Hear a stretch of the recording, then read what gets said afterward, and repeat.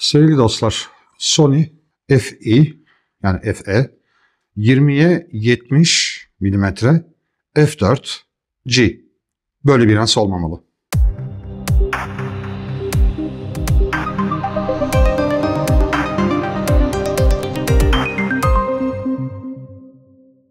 Ben Ergin Çamaç. Fotoğraf çekme kolay hoş geldiniz. Bugün size sevgili dostlar satın aldığım bir lensin incelemesini yapacağım. Beni hakikaten çok şaşırtan bir lens. Bu da G Master değil G F4 serisi e, Sony'nin en yeni e, zoom lenslerinden bir tanesi. Buna kit lens demek olmaz çünkü zoom lens diyeceğim. Şimdi böyle bir lens olmamalıydı derken neyi kastettim? Bir kere öncelikle 20 mm ile 70 mm arası bir zoom lens ben hayatımda ilk defa duyuyorum. Böyle bir şey olmamalıydı. Bir tek onunla kalmıyor. Yani F4 serisi yani G serisi lensin bu kadar sağlam, hava koşullarına dayanıklı olmalı mıydı pek bilemiyorum. Ya başka şeyler de olmamalıydı ama önce isterseniz lensin e, genel yapısına başlayalım sevgili dostlar.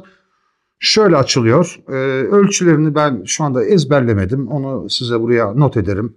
Kaç cam eleman olduğunu, bilmem ne olduğunu falan onlarla kafanızı ütlemek istemiyorum. E, üzerinde bir tane AF, MF geçiş switch'i var. Onun haricinde bir tane Iris Lock switch'i var.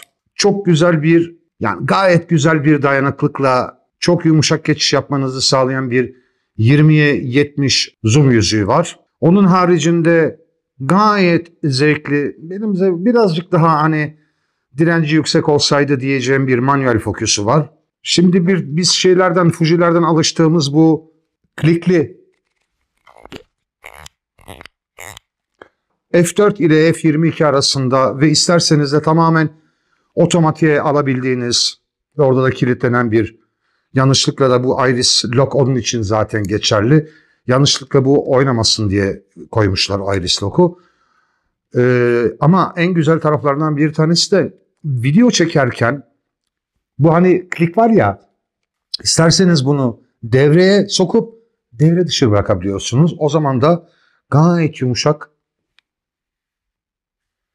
geçiş yapabiliyorsunuz diyafram arasında sevgili dostlar. Şimdi bu lenste başka ne olmamalıydı sevgili dostlar? Bu lens bir kere f4 lens için bir G lens yani G Master değil çünkü bu bu kadar köşeden köşeye 20 milimetreden 70 milimetreye bu kadar keskin, bu kadar detayı toplayabilen bir lens olmamalıydı. Bu kadar optik kalitesi yüksek bir lens olmamalıydı. Bu lens aynı zamanda videoya da bu bu kadar uygun olmamalıydı.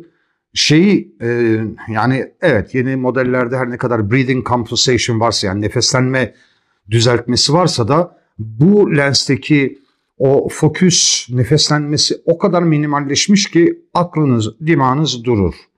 Bir de güzel olan tarafı hafif, rahat taşınabilir. 70 milimetre geniş açıda çok rahatlıkla vlog çekebilirsiniz. Hem de elinizi şu mesafede tutarak. Ve F4 olmasına rağmen hani bir stop eksik olmasına rağmen gece ya da karanlık ortam çekimlerinde ben e, gayet başarılı buldum sevgili dostlar. Başka ne olmamalıydı bu lenste? Valla sevgili dostlar böyle bir lens olmamalıydı ama olabilmişken keşke de bu kadar pahalı olmamalıydı. e tabi her şeyin bir e, karşılığı var sevgili dostlar. Bu lensi tercih ettim f2.8 yerine. Bir kere yarı yarıya fiyat farkı var neredeyse. Ve G, GM yani G Master serisiyle f2.8 serisiyle optik kalite olarak yani farkı neredeyse yok denecek kadar az. Yani o kadar parayı farkı vermeye değmiyor.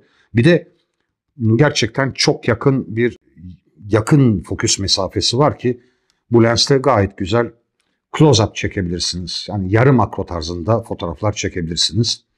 Ha bir de ne var biliyor musunuz? Bir de şurada iki tane fonksiyon atayabileceğiniz iki tane tuşu var. Ya tamam yani iki ayrı fonksiyon atayamıyorsunuz. İki tuş aynı fonksiyon atıyorsunuz ama işte bulunduğunuz konuma göre eğer portre çekiyorsanız bir tanesini belki diğerini çekiyorsanız da diğeriyle tak diye istediğiniz bir fonksiyonu devre dışı ya da devreye sokabilirsiniz. Ha bir şey daha olmamalıydı. Yani bu kadar hızlı bir otofokus olmamalıydı. Videoda bu kadar hmm, güvenilir bir otofokus olmamalıydı. Bunun lineer motorunun bu kadar hızlı olmaması gerekiyordu. Ama gelin siz beni dinlemeyin. Gelin görüntülere geçelim. Yani siz, yani çok fazla video çekmedim bununla. Epey bir fotoğraf görüntüsü vereceğim. Ve biraz da videodaki başarısına bir göz atacağız.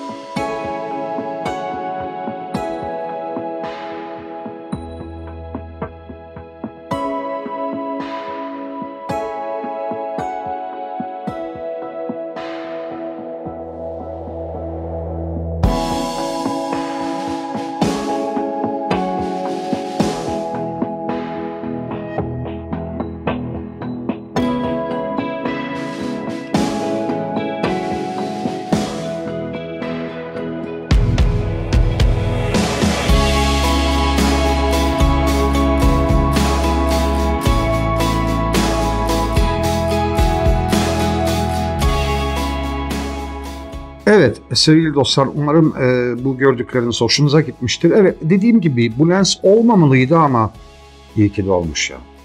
Yani çünkü ya birçok tabii alternatif lens seçenekleri var. Sony'nin üçüncü parti lens e, dedik, dediğimiz markalar çok güzel lensler üretiyor ama şu anda ben favori lensimi buldum. Çok güzel bir lens, çok güvenilir bir lens.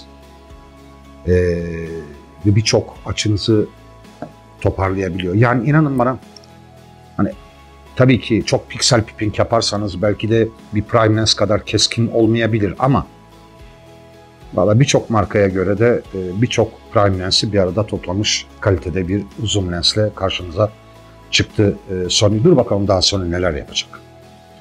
Umarım bu içerik sizlere değer katmış ve beğenme butonunu hak etmiştir. Ee, hala abone değilseniz lütfen abone olun sevgili dostlar. Bu aileyi hep beraber büyütelim. Şimdilik huzur ile kalın. Sağlık içinde kalın. Barış içinde kalın. Hoşça kalın. Ben Ertin Çomaç. Fotoğraf çekmek kolay. Bugünlük de bu kadar.